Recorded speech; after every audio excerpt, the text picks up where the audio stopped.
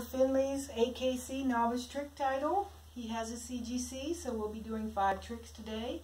And our first one is a signal. Good job. Zip. Good job. And down. Good job. Nicely done. Okay, our second one will be high five. Can you sit? Can you high five? Good job. Can you high five? Good job. Okay. Now let's do a perch. Good job. And off. Whoops. Perch. Good job. And off. All right. Now let's do some push-ups. Can you sit?